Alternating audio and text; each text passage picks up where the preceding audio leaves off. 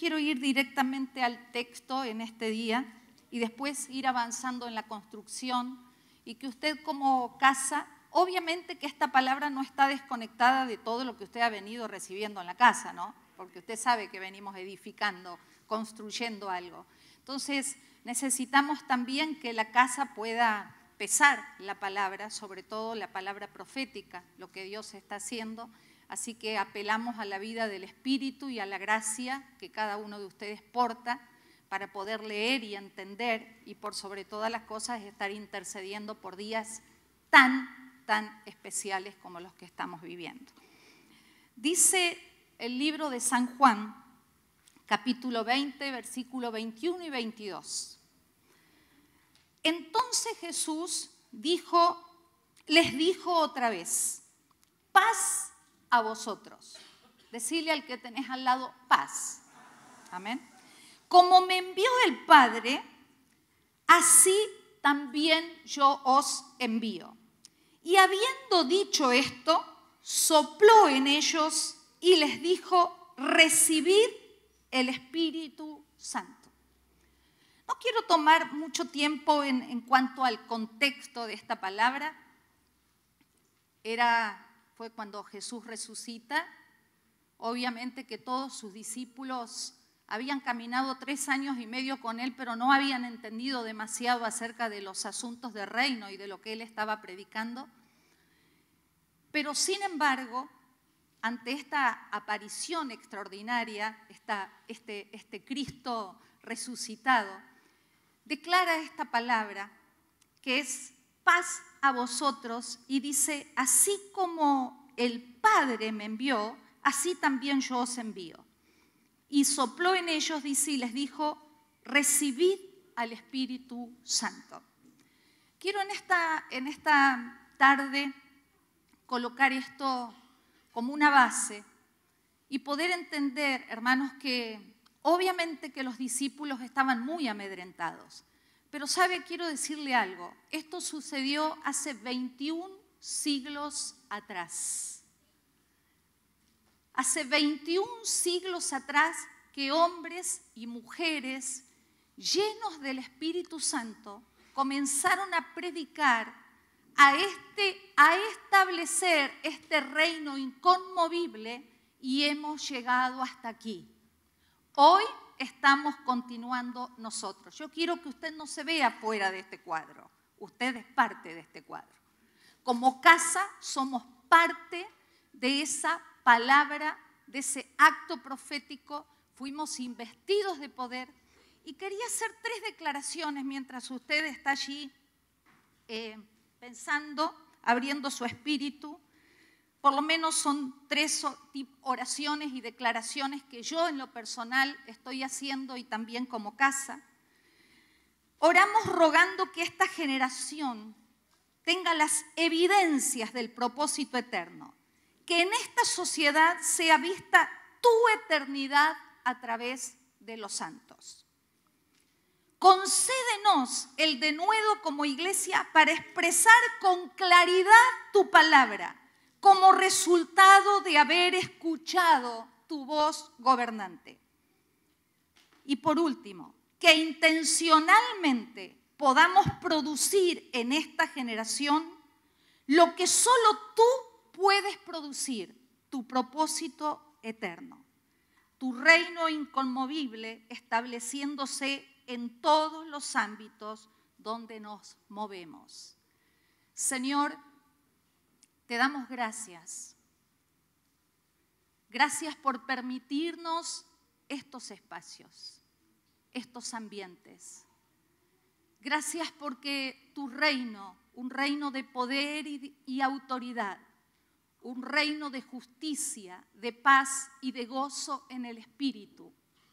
Es lo que nos, a donde hemos sido incorporados, donde hemos sido sumergidos a un reino inconmovible.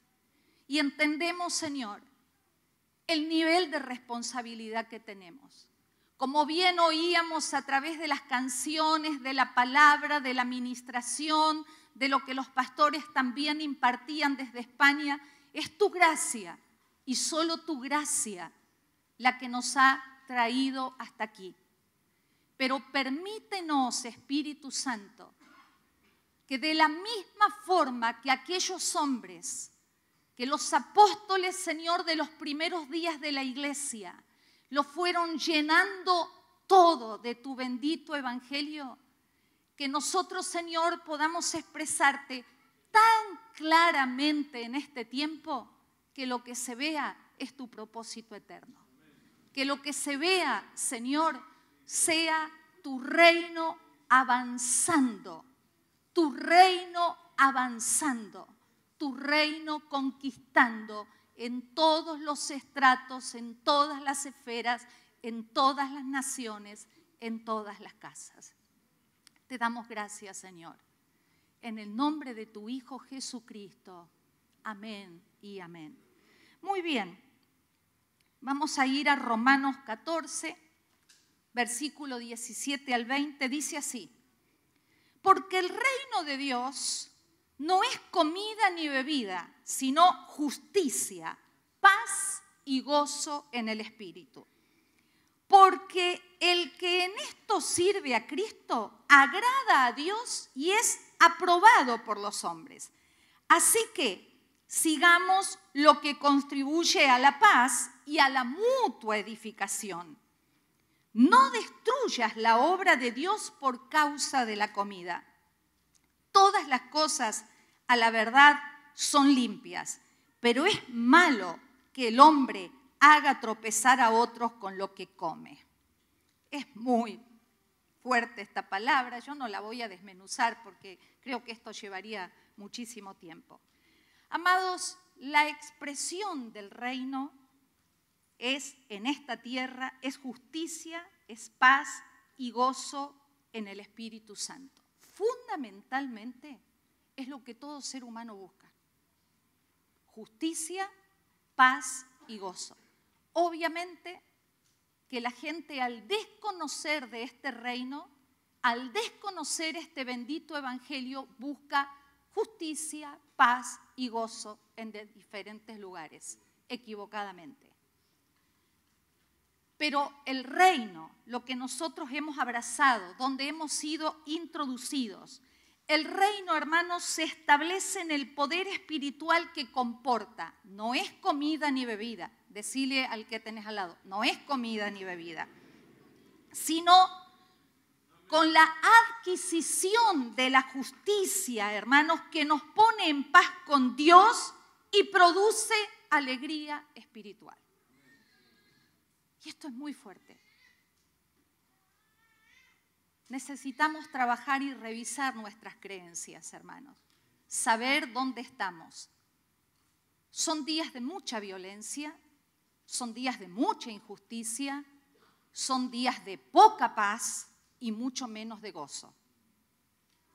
Pero la iglesia profética y apostólica, la iglesia que fue enviada a la tierra a conquistar, a declarar, a evangelizar las naciones, a entrar a las casas, no ha menguado su poder. Dios no está en crisis, hermanos. Nuestro rey, el reino de Dios, comporta justicia, paz y gozo en el Espíritu Santo. Amén. Esta es la esencia, esta es la sustancia, es la cultura, es la esfera, como usted quiera llamarle, donde rige la voluntad de Dios, su reino, su gobierno y su autoridad. No esperemos reino, no creamos en un evangelio ilusorio, no usemos nuestra mente porque hoy quiero trabajar en eso y vamos a, a establecer algunas cosas como casa, porque el reino de Dios es justicia, es paz, y gozo en el Espíritu Santo.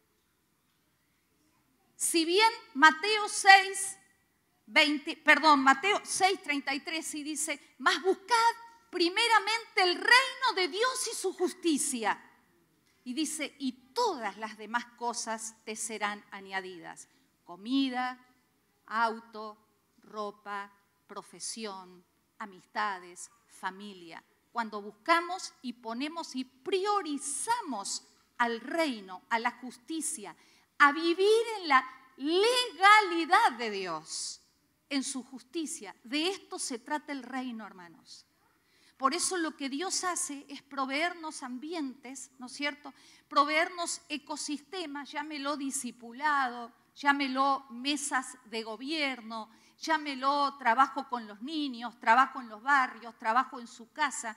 Son ecosistemas para que realmente podamos juntos crecer y entender y poder detectar, leer y discernir rápidamente, hermanos, qué es primero cuando sabemos lo que el reino al donde hemos sido introducidos comporta, más lo veas claramente, más rápidamente vas a discernir lo que no corresponde al reino.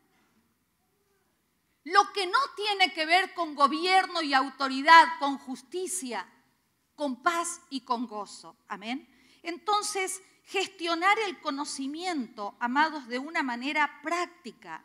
Porque quiero decirte algo. Bueno, a Gaby le toca ministrar allá acerca de la sal y la luz en el, reino de Dios en Barcelona. Pero cada uno de nosotros tenemos la porción justa de sal y la porción justa de luz para alumbrar en un mundo lleno absolutamente de tinieblas. Y eso no te lo ganaste vos ni me lo gané yo. Eso lo comporta el reino. Es decir, está incluido desde el momento que nos hemos arrepentido y hemos recibido a Cristo en nuestra vida. Todos, decirle al que tenés al lado, todos tenemos la porción justa. El tema es que a algunos se le han alumbrado los ojos del entendimiento y están gestionando desde la porción que tienen. Pero otros, por causa de las tinieblas, por la causa, como usted lo ha oído mucho en esta casa, cuando hablamos de tinieblas no estamos hablando del diablo, sino que estamos hablando de desconocimiento, de ignorancia, el no saber. Entonces, muchas veces no gestionamos los asuntos de la vida práctica, hermanos, de este reino, no los gestionamos en la justa medida de sal y de luz que portamos precisamente porque desconocemos lo que poseemos. Desconocemos lo que hemos adquirido en él, lo que comporta este reino, esta vida extraordinaria de Cristo en nosotros.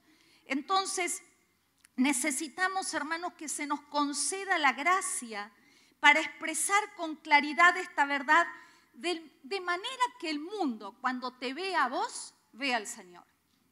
De manera que las personas, cuando te vean a vos, vean al Señor. Se necesita gracia. Y para eso estamos trabajando generacionalmente.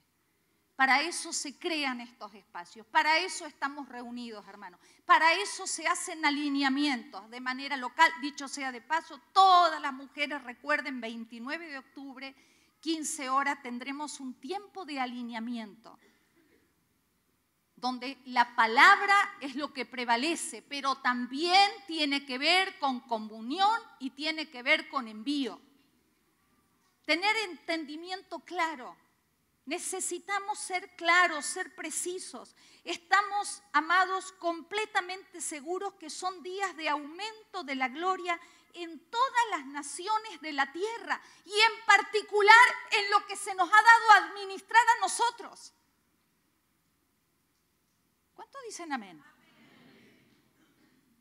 Sé que es una palabra que va a venir a pegarle a nuestros sentidos y después vamos a trabajar un poquito en eso porque todos tus sentidos te están diciendo si supieras lo que yo estoy viviendo. Pero el tema es, ya vamos a avanzar, no quiero, no, no quiero avanzar ahí. Entonces, ¿para qué oramos, hermanos? Oramos pidiendo no ser en la obra de nuestra mente, precisamente lo que les estaba diciendo. Con nuestras incapacidades para colaborar con Él que tu mente y la mía no sean un estorbo, una incapacidad para colaborar, porque así como los discípulos que estaban quebrantados, apenados, angustiados porque fueron a buscar el cuerpo y no lo hallaron. Y tres años y medio Jesús diciéndole que iba a morir, iba a resucitar. Y aún no lo habían entendido. Pero necesitaron verle, ser confrontados en un sentido, ser soplados por la vida del Espíritu, recibir esa impartición, recibir la persona del Espíritu Santo para salir y testificar a todo el mundo que Él había resucitado. Nosotros necesitamos revisar, hermanos, cuáles son los estorbos que estamos teniendo en nuestra mente que nos están impidiendo ver la realidad espiritual que comporta este reino del cual estamos hablando tanto. Que se nos abran los ojos, amados. Tenemos una responsabilidad personal crear los ámbitos placenteros, lo hemos hablado en alguna oportunidad. Placentero viene de placenta, ¿no?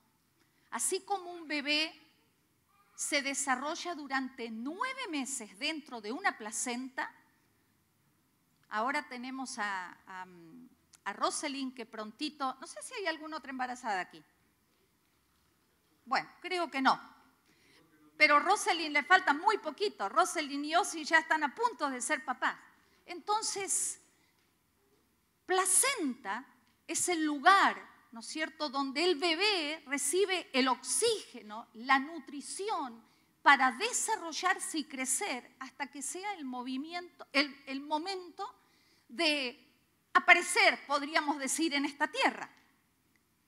Nosotros necesitamos como siervos de Dios que somos, como colaboradores de este reino inconmovible, crear los ámbitos, crear los espacios placenteros, crear los ambientes donde podamos oír a Dios. Esto es un ámbito placentero. Los discipulados son ámbitos placenteros, donde estamos siendo desarrollados, entrenados, oxigenados, desafiados, movilizados, sin los ámbitos placenteros, es imposible. Entonces necesitamos ampliar, hermanos, en este tiempo, la palabra enfermo, para que la palabra enfermo no o enferma no quede solamente confinado a lo físico, porque la realidad es que enfermedad hermanos, también se manifiesta en muchos ámbitos de nuestra vida. Y ahora quiero ir entrando en el tema.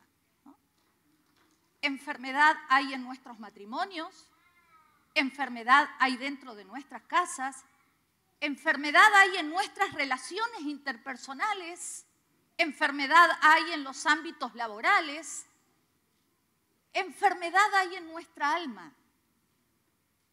Nosotros somos muy rápidos para diagnosticar, hermanos, asuntos de salud. En este caso, por ejemplo, la mamá de, de Cele, Javier y Belén está internada, pasando días muy difíciles ellos como familia, con su mamá, con su papá, y están esperando los resultados de los análisis, los diagnósticos, para saber precisamente cuál es el problema, para tener una terapéutica adecuada y que sean sanados y que sean fortalecidos. Como iglesia, hermanos, nosotros necesitamos crear esos espacios, necesitamos realmente entender que no solamente estamos enfermos físicamente, que no lo negamos que tenemos dolores, pero hay otras enfermedades que no se ven a simple vista y que son las que más daño causan son las que más estorbo traen. Porque mire, que a uno le duela la pierna, que a otro nos duela la columna, que a otro nos duele la cabeza, que pasa esto, que pasa el otro, aún hermanos que atraviesan por cáncer, que atraviesan, eso, todo eso, si tenemos un entendimiento, le da la gloria a Dios y puede traer avance. Pero hay enfermedades internas, hermanos, que lo único que traen es retraso al avance del propósito eterno. Entonces, toda nuestra vida, el ministerio, todo está propenso a enfermarse. Por eso necesitamos tener luz, Por eso necesitamos aprender a leer desde el Espíritu, para diagnosticar rápido, para que esa enfermedad no termine trayendo un retraso y tengamos que esperar que otra generación se levante, que otra palabra venga, cuando en realidad Dios está hablando, nunca dejó de hablar. Él nos está hablando claramente. Sabe, hermanos, que tengamos cuidado nosotros con quién nos asociamos en este tiempo. Y no estoy hablando de amistades, que las incluye, pero usted sabe que uno se asocia con lo que elige creer. Y estamos en días peligrosos. Decirle al que tenés al lado, la palabra habla mucho de los días peligrosos, ¿eh? días peligrosos. Usted elige lo que va a creer. Usted elige con qué se va a asociar diariamente. Si con lo que dice este sistema, con lo que dicen las noticias, con lo que dice la realidad de tu entorno, aún lo que dice muchas veces tu realidad natural, o te vas a asociar con lo que dice la palabra eterna, la verdad lo que comporta este reino. Es una decisión personal. Cada uno de nosotros podemos elegir. Entonces, uno se asocia con lo que elige creer. El profeta Isaías, hermano, profetizó 700 años antes de Cristo que por sus llagas hemos sido nosotros curados. 700 años antes de Cristo, él ya estaba declarando una palabra y aún todavía a nosotros nos falta entender esta maravilla, comprender a cabalidad, leer en el Espíritu. ¿De qué estaba hablando? No está hablando solo de una sanidad física, sino de la sanidad del alma, del espíritu, de ser libres del pecado, de ser sanados para un propósito eterno. Porque los profetas del antiguo pacto anunciaban lo que iba a venir. Y los profetas hoy, hermanos, estamos para consolar a la iglesia. Porque si usted hoy recibe esta palabra como una condena, usted no está entendiendo. Esta es una palabra de consuelo. Porque necesitamos consolar a una iglesia, entiéndame bien, que está siendo procesada en su alma con los padecimientos que Cristo no padeció. Nosotros estamos siendo procesados en el alma para que nuestra alma sea a la imagen y semejanza de Cristo. Cuando vos empezás a diagnosticar, a leer, a discernir, a entender que todo lo que está pasando a tu alrededor, que todo lo que estamos gestionando es porque nuestra alma está siendo transformada a la imagen y semejanza de Cristo, para que tu alma, la mía, llámese el asiento de las emociones, los pensamientos. Usted escuchó la palabra el domingo pasado.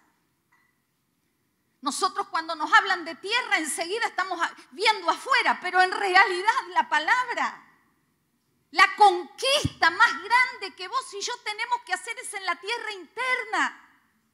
Es en nuestra alma, son nuestros sentidos porque ese es el estorbo más grande que estamos teniendo para el avance del Evangelio, hermanos. El poder del Señor no ha menguado. En la vida de Cristo tenemos todo, absolutamente.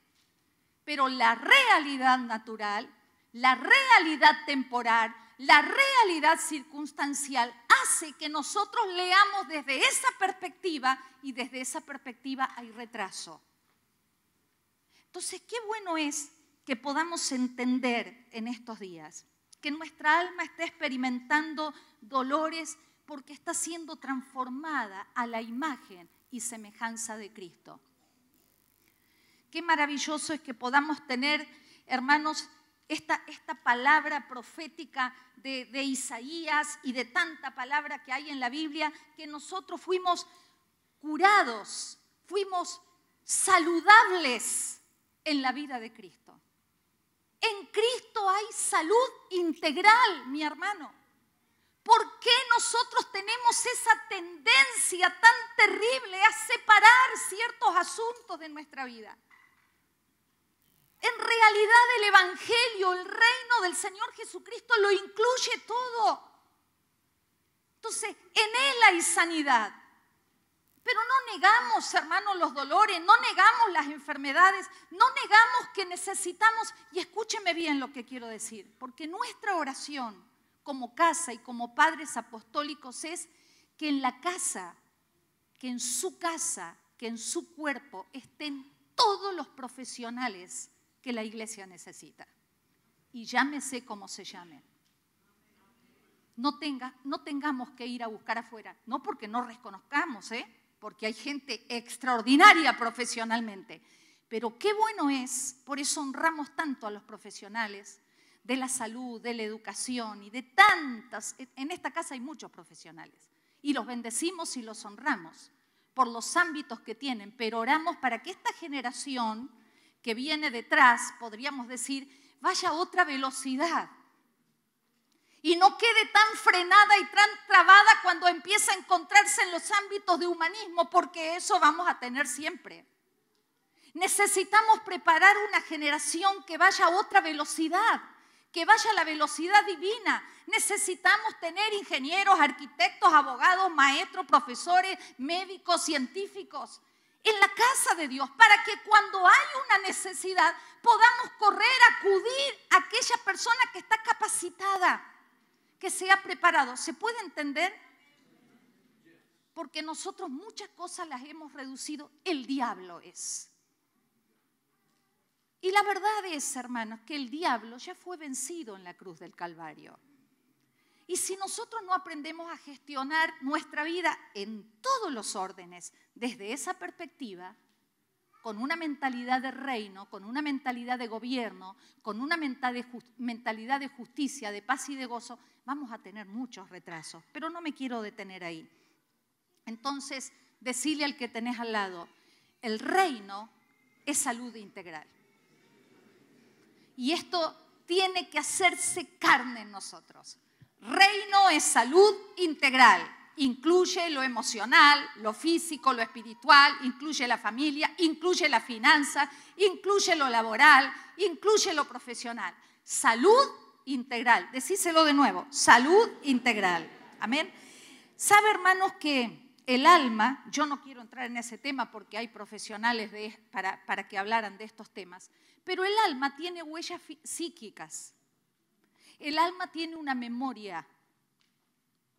Por eso, inclusive el apóstol, bueno, no me acuerdo si fue Gaby que hablaste, en, creo que era en el discipulado o en alguna reunión de domingo, no sé, hablábamos acerca de aprender a hablarle a nuestra alma y no dejar que el alma nos hable a nosotros, porque cuando el alma nos empieza a hablar, hermano, podemos terminar, no sé, o en una de esas demasiado elevados, o puede ser que diez minutos más tarde estés bajo la tierra, considerándote la peor basura que hay, la persona más incompetente.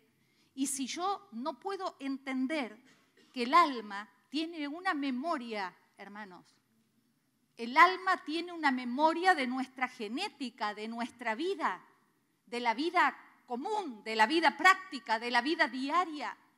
Y tu alma y la mía necesita ser confrontada necesita ser llevada en obediencia a la palabra de Dios.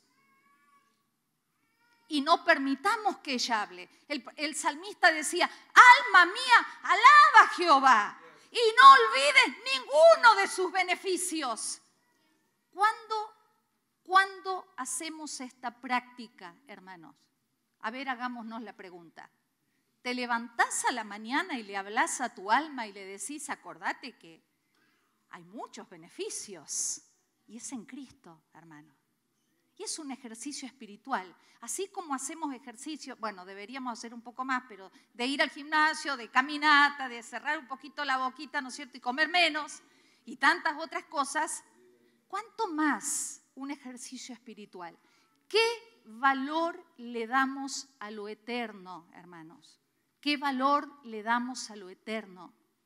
Qué valor le damos en nuestros hogares. Entonces, cambiemos la predisposición de un alma que es engañada a lo que Dios habló, hermano. Tu alma no lo sabe. Nosotros hemos hablado en esta casa, me recuerdo hace años atrás, de recuperar la memoria eterna. Lo que el Padre habló, lo que Dios habló desde antes de que vos fueras concebido en el vientre de tu madre. Dios habló bien.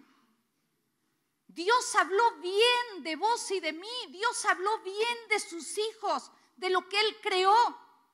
Entonces necesitamos, hermanos, que nuestra alma, que está tan engañada, que está tan llena de recuerdos, que procura permanentemente hablarnos, gobernarnos, amargarnos, frustrarnos, un alma que está enferma, engañada, ¿qué necesita, hermanos? Necesita ser discipulada.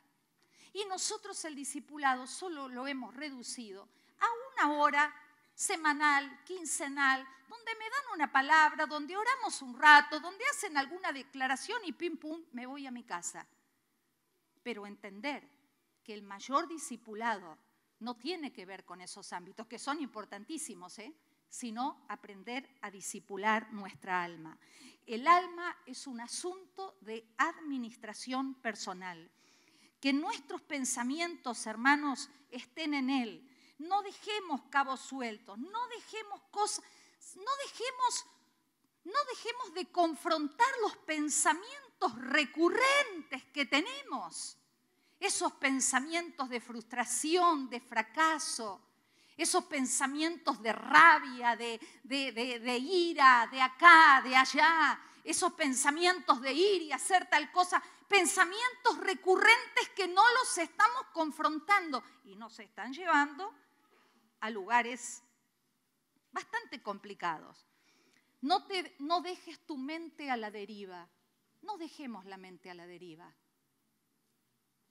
Nuestra mente necesita un freno, hermanos y necesitamos levantarnos con toda la autoridad que Dios nos ha delegado. Y sé que muchos de ustedes hacen un trabajo extraordinario y están en ámbitos de tanta hostilidad que solo, y lo declaro desde aquí, solo el Espíritu Santo permite que vos sigas de pie.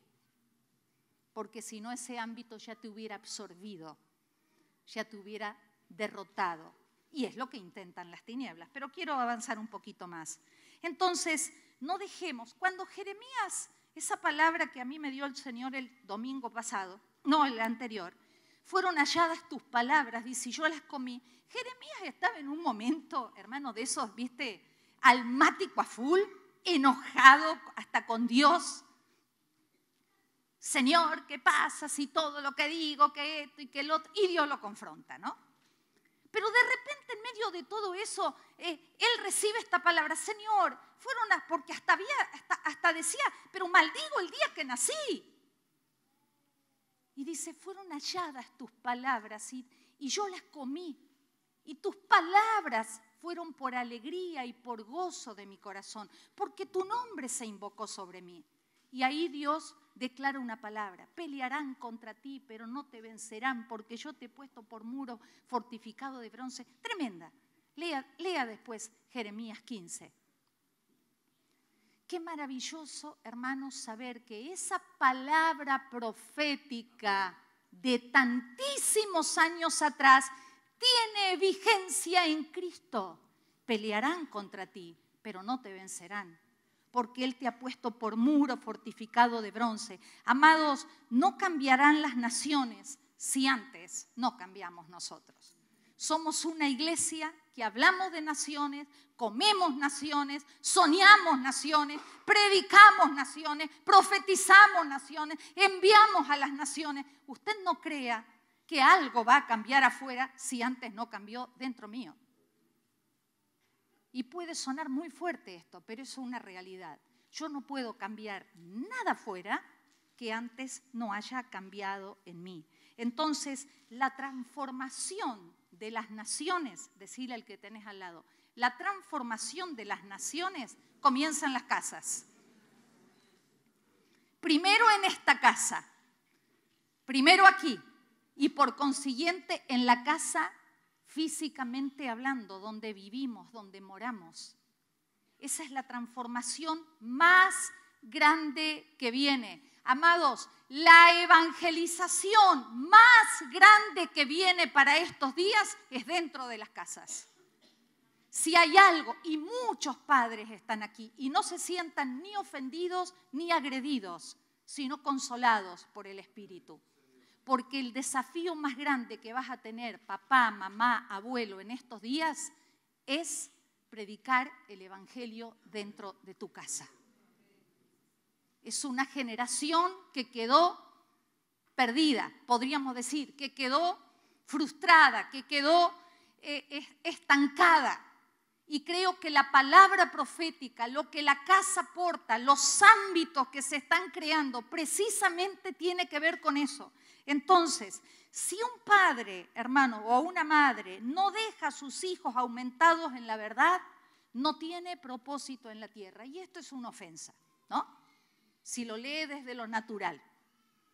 Podemos tener 10 hijos, pueden ser los mejores profesionales, los mejores empresarios, pueden ser lo mejor de lo mejor de lo mejor. Y no estamos hablando de familia ideal como modelo humano, porque no existe la familia ideal, hermano. Lo que existe es un diseño eterno que es perfecto, porque la familia es un diseño de Dios. Cuando Dios ve tu familia y la mía, su familia, Él ve a su hijo y la iglesia. Ese es el propósito de tu familia. No es que me enamoré de fulano, me caso con sultano, tengo hijos, no funciona, me caso con otro, me voy para acá, me voy para allá. El diseño de familia es perfecto y eterno. Y sí funciona. Si no ha funcionado hasta ahora, es por desconocimiento, hermanos es por haber creído que las cosas se hacían conforme a los gustos, conforme a lo que nos parecía, conforme a nuestro sentido, conforme a la imaginación de nuestra mente.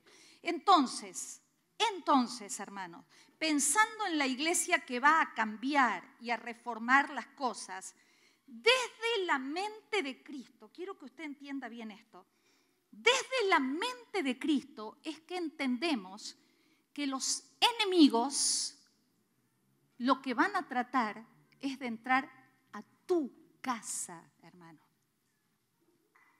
No a la de afuera. Porque nosotros siempre hemos visto demonios por todos lados. ¿Sabe qué? Nunca discernimos cuando las tinieblas quisieron entrar a nuestras casas. Y muchas veces por falta de compromiso y responsabilidad y de no tener una lectura correcta, las tinieblas entraron. o por desconocimiento o porque le dimos el permiso, pero desde la mente de Cristo es que leemos y entendemos, hermano, y esto ha llegado, esto ha llevado mucho tiempo para llegar a este entendimiento. La palabra siempre ha sido clara, pero no lo entendíamos así.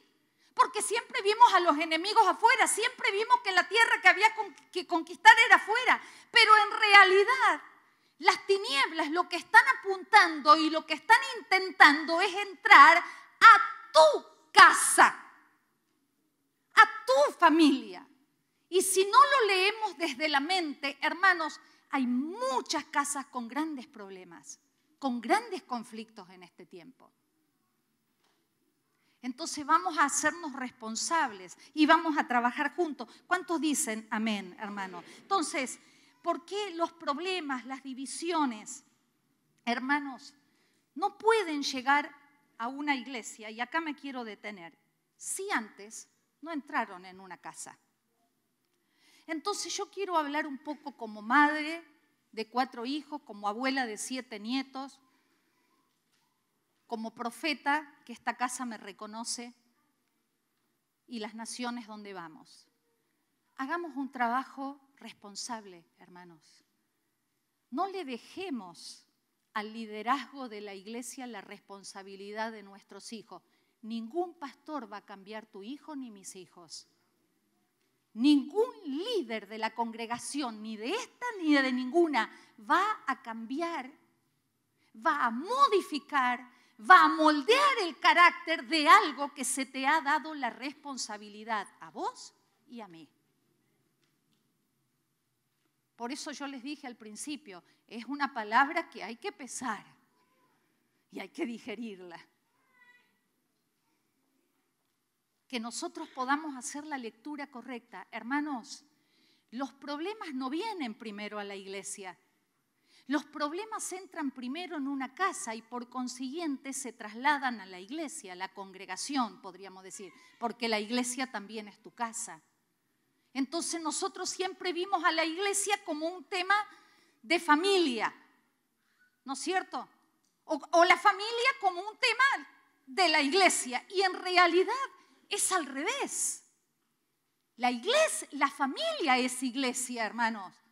Si no lo vemos desde esa perspectiva, si usted no asume, y yo, y yo, no asumo la responsabilidad que tenemos en estos días, hagamos los ajustes que sean necesarios.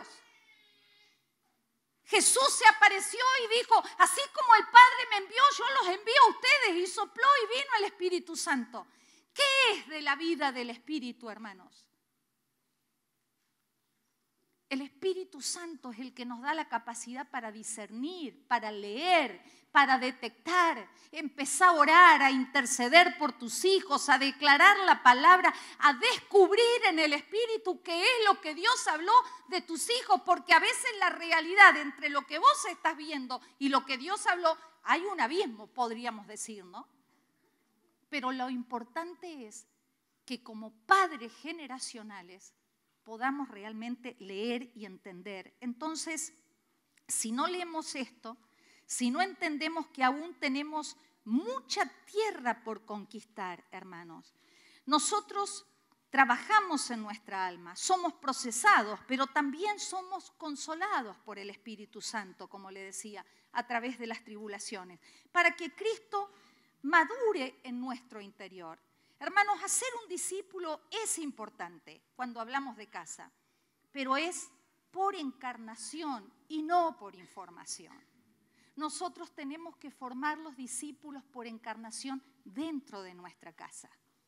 Que cuando los discípulos lleguen a la congregación, tu niño, tu adolescente, tu joven, tu hijo maduro, lo que sea, ya sean discípulos encarnados en Cristo que la vida de Cristo está encarnada en ellos. Hermanos, somos discípulos cuando encarnamos a Cristo en nuestra vida, si no, no lo somos.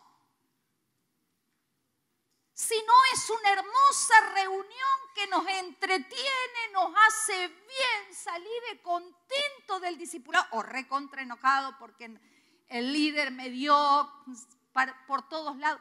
No, no, no, no tiene nada que ver con eso es realmente, hermanos, somos discípulos cuando encarnamos a Cristo en nuestra vida.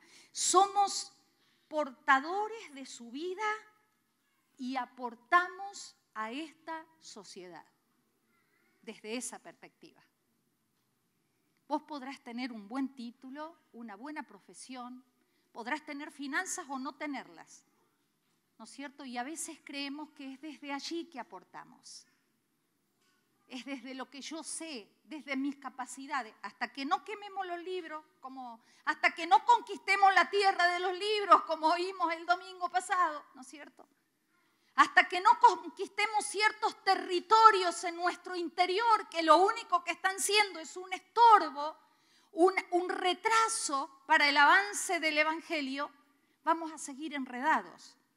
Entonces, levantémonos, hermanos, en este día.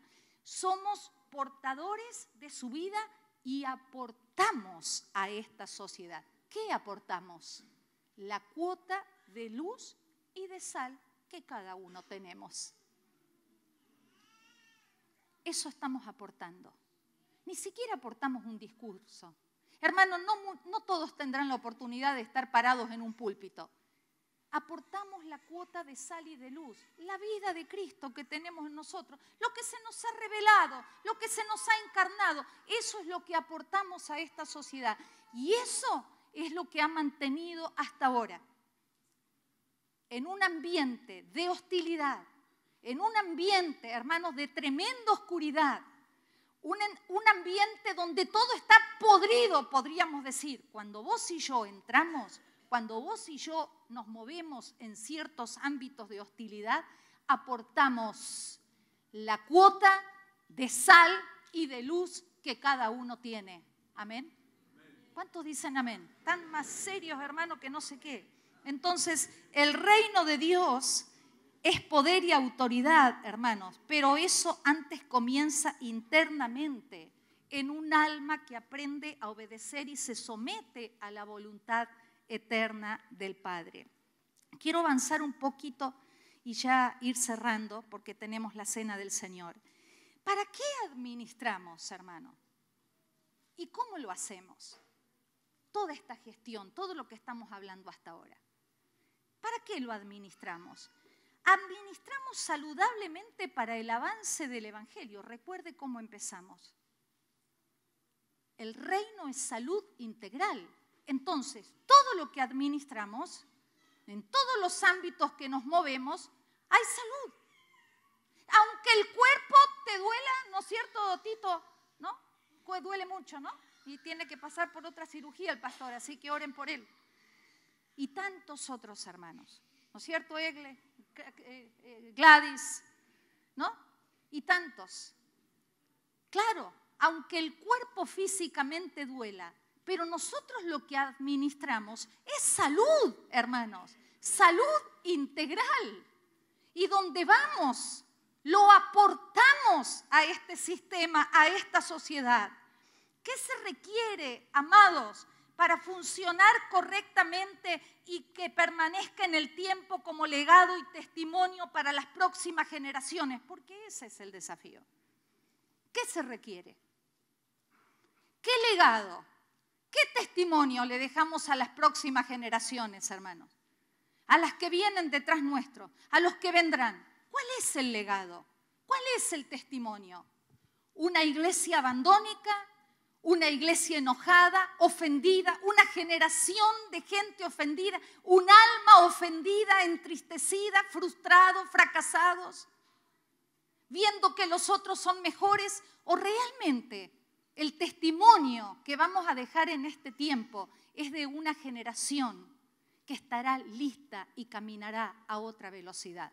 Porque como padres espirituales nos tomamos el trabajo, la responsabilidad, el compromiso de facilitar en el buen sentido de la palabra y de crear los ámbitos correctos para que esa generación que viene acá, estamos llenos. Y toda una generación que hay fuera, hermano, ¿Qué legado? Es una pregunta, porque hay muchos padres que se ocupan de dejarle la casa, el terreno, eh, la profesión, todo eso está bien, pero eso es añadidura. No pongas el enfoque en lo incorrecto, pon el, el enfoque en el reino y su justicia, porque las añadiduras vendrán. Entonces, como padres generacionales, levantémonos en este tiempo. La vida solo hermano, solo la vida del Espíritu Santo en nosotros, guiándonos, enseñándonos, haciéndonos recordar, eh, eh, dándonos la fuerza para que este Evangelio, para que la vida de Cristo, para la que la sal y la luz que vos portás para esta sociedad realmente sea vista y sea expresada. Amados, si esto recae en personas crucificadas, es posible solo es posible si estamos muertos. Porque todo este discurso es para terminar diciendo esto, que tu vida y la mía en realidad no existen. Lo que existe es Él. Y si usted puede entender en su espíritu hoy esto, realmente vamos a alcanzar, hermanos. Es un tiempo de avance de la palabra, es un tiempo de evangelizar, es un tiempo de salar, es un tiempo de alumbrar, es un tiempo de llevar este reino inconmovible hasta el último rincón de la tierra. Que esta sea nuestra realidad. Quiero ir cerrando aquí.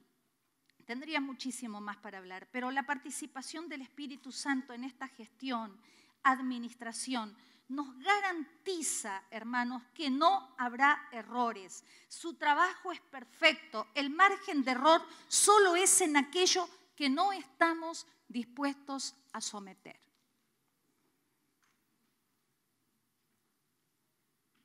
Es una garantía que tenemos. En Cristo somos saludables por sus llagas hemos sido nosotros curados. Por si fuera poco, el Señor nos dejó al Espíritu Santo la persona maravillosa del Espíritu Santo para enseñarnos, para guiarnos, para acompañarnos, para llevarnos adelante, hermanos, en todo. Entonces, realmente el único margen de error solo está en aquello que no estamos dispuestos a someter. Creo que cada uno de nosotros, nadie va a pasar ahora para medirte. Esto es algo personal. ¿Cuál ha sido nuestro, cuán, cuán grande ha sido nuestro margen de error, hermanos, para que el Evangelio no lo haya llenado todo? ¿Cuán grande ha sido nuestro margen de desobediencia, podríamos decir, de falta de rendirnos, de falta de creer realmente a la palabra? De estar muertos y resucitados en Él. Ese es el único margen de error. Después de eso no hay. No hay error. Por eso tengamos cuidado las palabras que pronunciamos, hermanos. Jesús y toda la iglesia dependieron del Espíritu Santo. Y muchas veces nosotros en estos días solo le pedimos al Espíritu Santo lo que nosotros queremos hacer. Entonces vamos a revisar hasta nuestras oraciones. Amén. Basados en esta realidad. Yo te dije que esta era una palabra para pesarla y una palabra para trabajarla. No solo en el discipulado, que lo hacemos siempre, sino de manera muy personal, cada uno de nosotros. ¿Cuál ha sido el margen de error dentro de nuestros hogares? ¿Cuál ha sido el margen de error dentro de mi ser interior? ¿Qué es lo que no sometí todavía de mi alma? ¿Cuál es el pensamiento en mi mente que termina siendo siempre el estorbo para que no haya avance de la verdad en mi casa? Para que no se vea el crecimiento de Cristo. El Espíritu Santo, hermano. Y no es un alcahuete, ¿eh? Es una persona divina, porque no lo anda diciendo al vecino, a la vecina, al compañero. Es algo personal, pero démosle el lugar. Amén.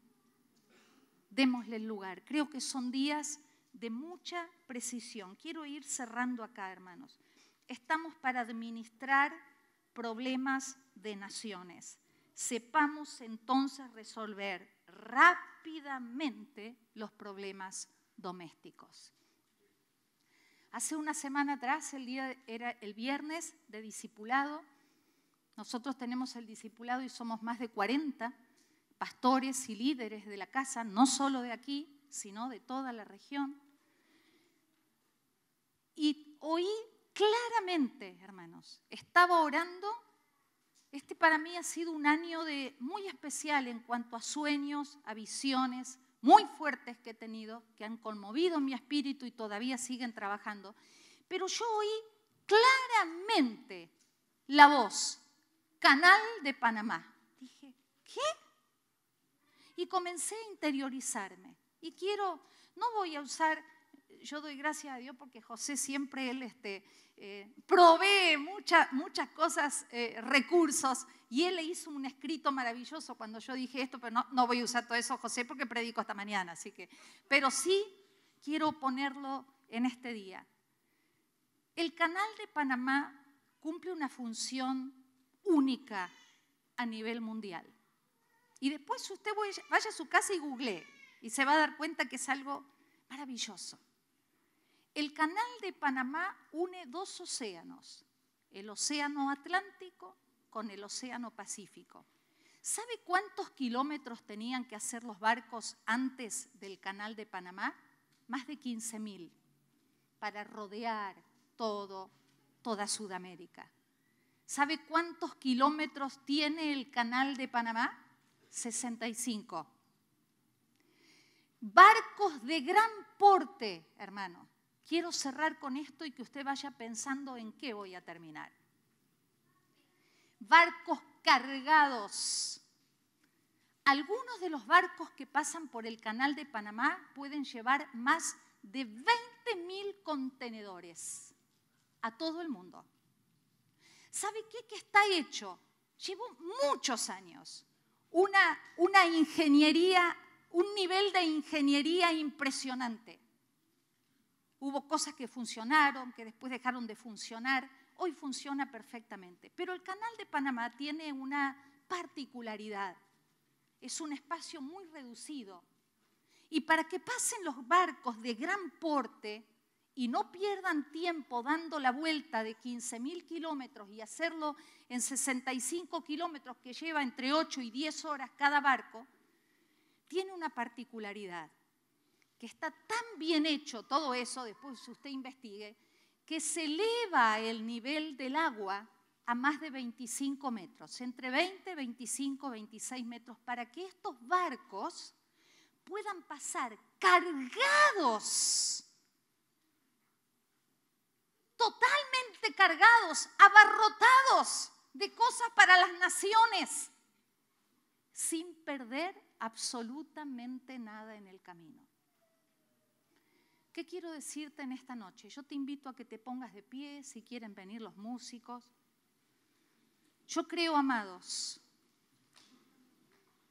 que somos esa generación de barcos cargados con riquezas inescrutables.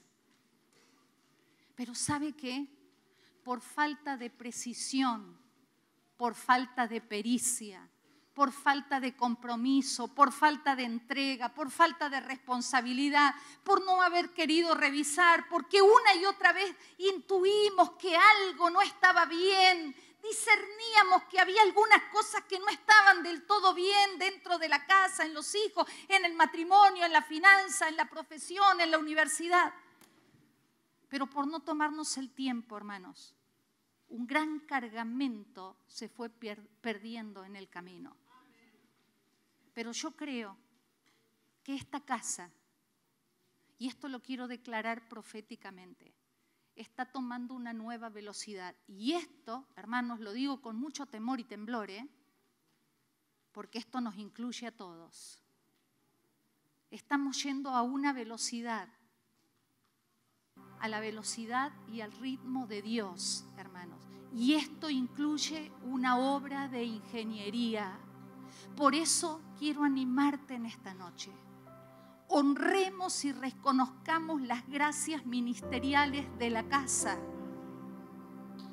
Como padres, físicamente vamos a estar ausentes por más de un mes, pero esta casa no queda sola. En esta casa hay hombres y mujeres, hay familias entrenadas, sembradas. Hermanos, hay movimientos en tu vida y en la mía que requieren precisión. Hay muchas cosas que las hicimos así impulsivamente. Tomamos decisiones que son asuntos de vida y las tomamos presionados por una circunstancia pasajera, que no fue ni más ni menos que un estorbo, que vino precisamente para desenfocarnos y hacer exactamente lo contrario a lo que Dios quería que hiciéramos. Amados, las naciones están abiertas y cuando hablamos de naciones, honramos ese mapa maravilloso que tenemos ahí, ese planiferio. Pero no nos vayamos tan lejos. No pensemos, bendecimos, oramos por África. Usted sabe que estamos comprometidos con muchas naciones, estamos comprometidos hasta las tuétanos ahora con España, Noruega y todo lo que estamos haciendo. Pero no vayamos tan allá, porque a veces el irnos tan allá nos emociona, ¿no es cierto? Y un arranque de emoción así. Y no, no, no le voy a hablar de ofrenda, hermano, ni de generosidad, porque esto es por testimonio del Espíritu. Pero a veces es más fácil dar un billete que dar la vida. A veces es más fácil dar una ofrenda que tomar un tiempo para orar. A veces es más fácil poner una penitencia y decirle a los hijos, no vas a ir porque no vas a ir y no ponernos a explicar. ¿Cuáles son los riesgos que esta generación tiene, hermanos? Nosotros oramos mucho por los padres de esta casa, por los padres generacionales, por los sacerdotes de la casa. ¿Sabe lo que hace un sacerdote? a corta distancia entre Dios y los hombres los sacerdotes en su hogar acortan las distancias de la misma manera, bueno, no de la misma manera porque esto es una manera física, que 15 mil kilómetros fueron reducidos a solo 65 por una obra de ingeniería maestra, por una inversión de vidas, de tiempo, de dinero, de sabiduría, de conocimiento,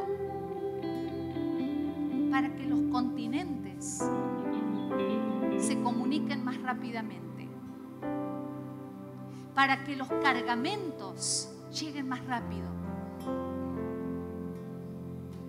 ¿Qué es lo que tenemos que agilizar nosotros, hermanos? ¿Qué gestión tenemos que hacer? Que el Espíritu Santo nos abra los ojos